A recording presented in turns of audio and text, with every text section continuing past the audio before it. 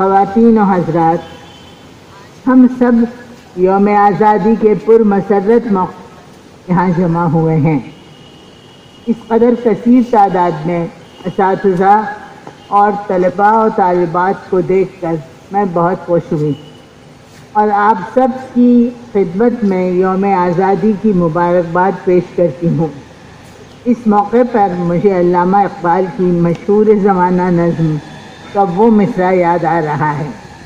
सारे जहाँ से अच्छा दोस्तों हमारा हम किस दूरी दूर अंदेशी से अल्लामा ने लिख दिया कि हमारा मुल्क सारे जहाँ से अच्छा है।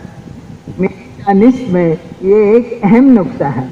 ख़वान हजरात, ये वो अजीम मुल्क है जहाँ ज़ातों, जमातों, कौम, ज़बानों और अकायद का रंगारंग संगम पूरी आबताब के साथ रवा दवा हैं।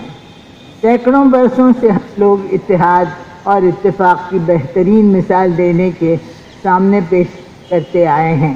रक़ मुसवरी, मौसीकी, फ़न तामीर के बेहतरीन नमूने हमने दुनिया को दिए हैं। साथ ही मजाहब और वहाँ रूहानियत की काबिल रश्क मिसालें हमारे सामने हैं।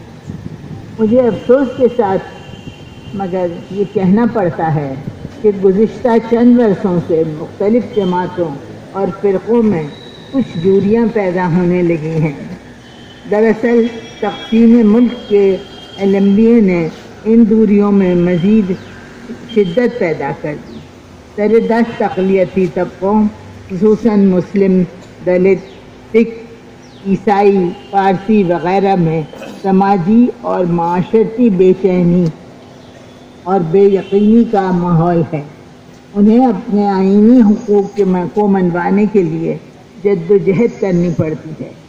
ये हालात हमारी कौमी तरक्की और मुल्क की देर पा खुशहाली के लिए नुकसानदेह है। हमें मिलजुल कर कोशिश करनी चाहिए कि हमारी कौमी सलामती और अमन व अमान को कोई नुकसान न पहुँचे। मैं समझती हूँ कि किसी भी मुल्क और मिलत की खुशहाली और तरक्की का वाद ज़रिया तालीम है। असूल इल्म एक मकदस फरी, मुक़दस फरीज़ा है और हमें इसमें कोताही नहीं करनी चाहिए। हमारे नौजवान, हमारी मिलत और हमारे मुल्क का बेशकीमत असासा है। इस की ज़िम्मेदारी है कि इन नौजवानों को इंस्पायर करें। मैं उनकी आँखों में मुस्तबिल की चमक और अपने आप पर एतमाद की रमक देखना चाहती हूँ। मलूल, पशमुर्दा, थके हारे नौजवान मुझे अच्छे नहीं लगते। मैं नौजवानों से दरख्वास्त करना चाहती हूँ कि वो अपनी सलाहियतों को पहचानें, उनका भरपूर इस्तेमाल करें और हमारी मिलत और मुल्क की खुशहाली का ज़रिया साबित हों। असूल इल्म, खुद किफ़ालत, बेहतर माशर की कदरें, मुल्क से अटूट मोहब्बत और अपनी मिलत से गैर मशरूत वाबस्तगी वो कदरें हैं जिनके ज़रिए हर मुश्किल को पार किया जा सकता है। हालात की संगीनी से मुकाबला किया जा सकता है। नौजवानों को बलफ्ज शायर ये कहना चाहिए नौजवानी में मसाइब से डराता है मुझे। ना से नादा, यह है वो मौसम बरको शरत बरको शरत आलम कैफो चुनू में मारती है कह कहे ज़िंदगी जब मौत की आँखों में आँखें डाल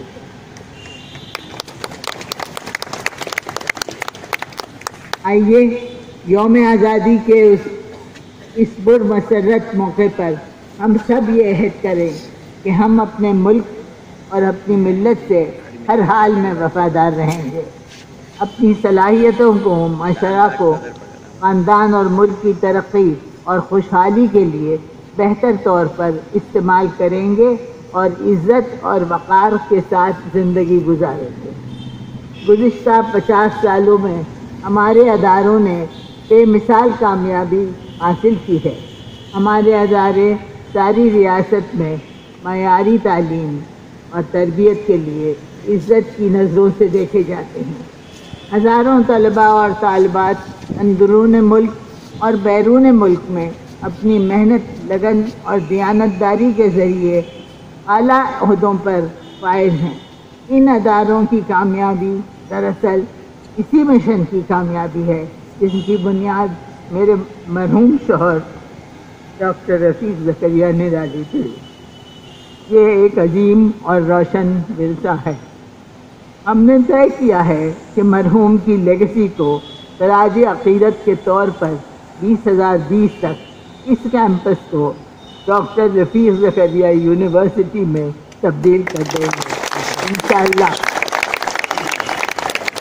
मरकज़ी हुकूमत, रियासती हुकूमत यूनिवर्सिटी और यूजीसी सभी सरकारी नीम सरकारी एजेंसी और उनके सारे वसाइल बरूकार लाए जाएँगे।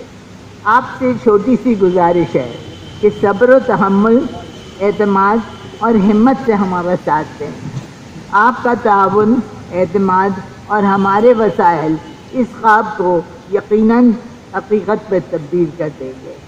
ज़रा नम हो तो ये मिट्टी बड़ी जरखेज़ है, साथी। शुक्रिया। जय हिंद